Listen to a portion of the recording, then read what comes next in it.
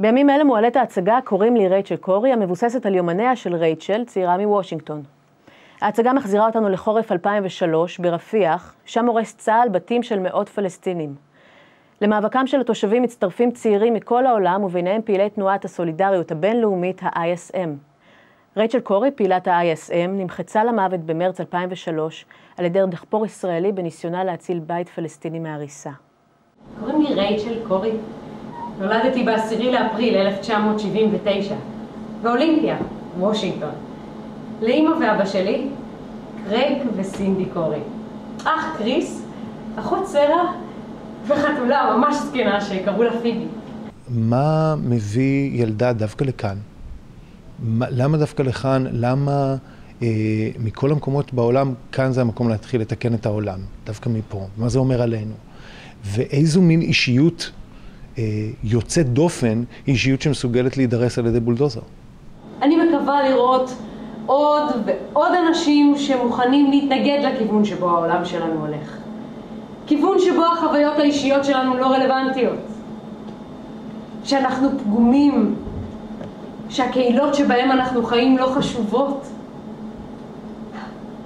שאין לנו השפעה, שהעתיד כבר הוכרע מראש.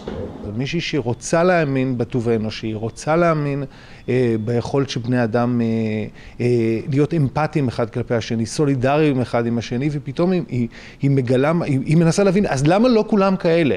היא לא הייתה מאוד פוליטית אה, בצאתה לדרך, אלא מאוד אמפתית לבני האנוש ו, ולחברה. היא רצתה לתרום מעצמה ורצתה להיות משמעותית. אה, לא בהכרח ממקום פוליטי פרו-פלסטיני או אנטי-ישראלי. נראה לי שהכלל היחיד שאני יכולה לזכור היום יכול להיות כלל טוב לחיים. כולם צריכים להרגיש בטוחים. בטוחים להיות עצמם, בטוחים פיזית, בטוחים להגיד מה שהם חושבים, פשוט בטוחים. היא יוצאת לדרך בחוסר נוחות של משהו מרגיש לי בעולם הזה מקולקל ואני רוצה להבין מה.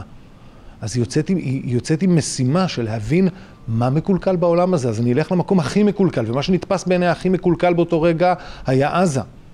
והיא עוברת דרך מאוד קשה עד שכמה ימים לפני שהיא, שהיא נהרגה, היא, היא מצליחה להוציא את, את, את המילה המאוד קשה, היא אומרת... הדבר הזה שאנחנו משלמים עליו כאן הוא רוע אמיתי. היא התעסקה בבני אדם שנמצ... שכלואים בתוך הסיטואציה הזאת וסובלים, ועל זה בעיניי אין ויכוח. אני פשוט נדהמת מהיכולת של האנשים לשמור כאן על מידה כל כך גדולה של... מהאנושיות שלהם. למרות הזוועה האדירה שמתרחשת בחיים שלהם והנוכחות הבלתי פוסקת של מוות מסביב. אני חושבת, אני חושבת שקוראים לזה כבוד עצמי. היא באה ואמרה, אני, אני, יש איזושהי אמת בסיסית אנושית ש, אה, שחינכו את כולנו אה, על ברכיו, והוא לא מתקיים משום מה, ואני פשוט צריכה להראות לאנשים את הדרך. זה מבחינתה מה שהיא עשתה. היא שמחה על המין האנושי, אפשר לראות את זה ב, ב, על הטוב הבסיסי שקיים באדם, האופטימיות שלה היא יוצאת דופן. זה הדבר היוצא דופן שבה. במידה כזאת או אחרת, כולנו ילדים שסקרנים לגבי ילדים אחרים. ילדים מצרים שצועקים לעבר אישה מוזרה שנודדת לכיוון הטנקים, ילדים פלסטינים שנורים על ידי הטנקים כשהם מציצים מאחורי קירות בשביל לראות מה קורה, ילדים מכל העולם עומדים עם באנרים מול הטנקים ילדים ישראלים בתוך הטנקים. לפעמים צועקים, לפעמים מנופפים לשלום.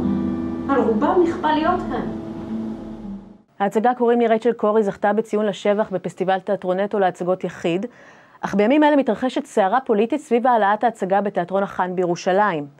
אומנים רבים זועמים על איומי העירייה לחבל בתקציבי התיאטרון, במידה ותועלה בו ההצגה.